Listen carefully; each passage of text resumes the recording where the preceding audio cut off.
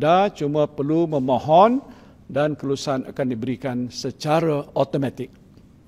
Kemudahan ini juga ditawarkan pada pengusaha PKS yang terjejas tertakluk kepada semakan dan kelulusan pihak bank. Permohonan akan dibuka pada 7 Julai 2021.